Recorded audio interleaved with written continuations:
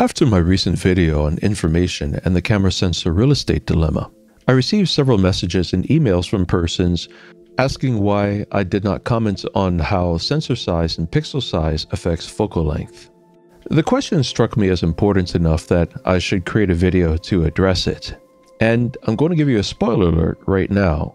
Neither sensor size nor pixel size change through focal length in any way at all, not in the slightest. So if you want, you can skip the rest of this video. You already know the conclusion, but if you want to understand this topic more, let's dive in. The image above is my fairly poorly rendered version of a refractor telescope. The primary lens is on the left, the second lens is just to the right of the middle, and the focal plane where light comes into focus is at the sensor in the back. Now, focus length is a trait that is determined by the physical characteristics of the telescope. In the case of a refractor, it begins where the light passes through the first lens. The lens curves the light toward a second lens, which further curves the light and brings it into focus at the back of the telescope where the camera sensor is. And whether we are talking a refractor or a reflector telescope, the sensor will be located at the very end of the path of the light, at the focus plane ideally, where all the light comes together just right to bring whatever image we have our telescope pointed at in focus. Now, there are many complex topics we could sidetrack into here, such as just what is meant by focal length and why do we say focal length rather than magnification, since in astrophotography, we tend to think of focal length as relating to magnification. But I'm going to aim to keep this video very simple and just address the reality that neither sensor size nor pixel size have any effect on focal length.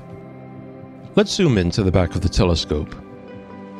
Typically, telescopes are designed so that as much light as possible will reach the back of the telescope where we reach the focal plane. Many consumer telescopes designed for astrophotography are designed so that where the light reaches the focal plane, the focal plane is quite large, enough that the area of the focal plane is able to encompass a full-size camera sensor as shown here. The camera sensor is represented, relatively poorly I might add, by the bluish-purple vertical rectangle and the yellow bars are my crude representation of light. If the light reaching the focal plane area is big enough to encompass that full-size sensor, then the entire image captured by the viewing side of the telescope is going to be shown on that sensor. On the other hand, if our camera has a smaller sensor, such as this camera's 1-inch sensor, which you can see is a little smaller in scale, the sensor will be too small to catch all of the lights reaching the focal plane. The excess light will simply pass it by reaching the back of the telescope or camera, and ultimately be unrecorded. Note that regardless of the size of the sensor on the back of the telescope where the focal plane is, the distance the light had to travel from the first lens to the focal plane remains the same, only the sensor size changed, and the only thing that affects is how much of the light reaching the focal plane is recorded. Let's take a look at this from a straight-on view to help clarify it.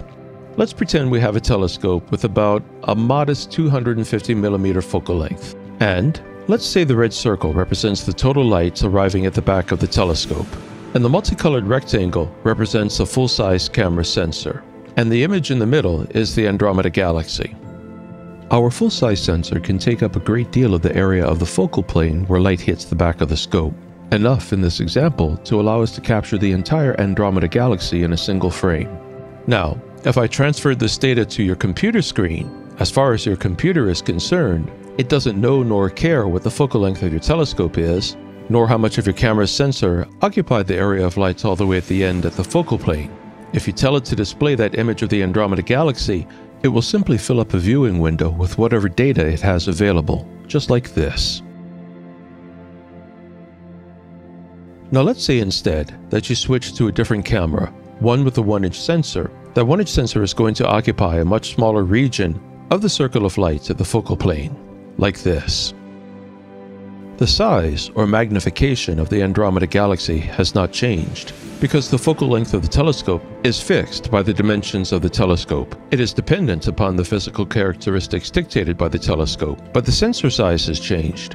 Because it is smaller, it records a smaller portion of the Andromeda Galaxy.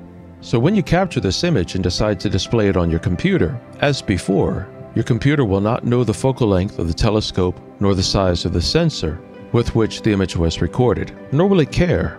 When you tell the computer to display the image with whatever software that you use, the computer will simply fill the viewing window with the image, like this. There is no additional focal length. The telescope is not magnifying the image anymore because you used a smaller sensor. Simply, the amount of the image that the camera sensor was able to record from the focal plane is expanded to fill the viewing window, which gives the illusion of a greater focal length. The physical focal length of the telescope is its true focal length. How much area of the focal plane is covered by the sensor where all the light falls is the crop factor, because it's as if the rest of the light is cropped out.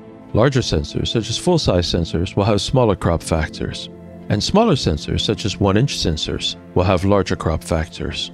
How much magnification this crop appears to create is the apparent focal length, and it should never be confused with the true focal length of the telescope.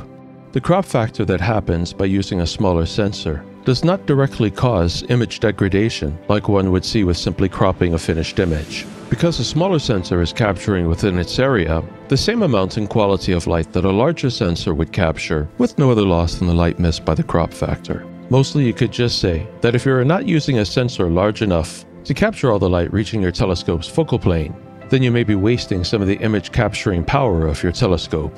Though that's subjective, and there are good reasons not to use a full-size sensor. Not only are smaller sensors much less expensive, but they are much easier to align, and most deep sky objects will not be big enough even with a telescope with a very high focal length to fill the entire space available on even a cropped camera sensor. And finally, pixel size has no effect whatsoever on true nor apparent focal length. However, the role of pixel size on sensors is complex, somewhat contentious, and a subject for another video. As always, thank you for watching. If you have any thoughts, observations, or comments, please leave them in the comments section below. Now get out there and shoot the sky.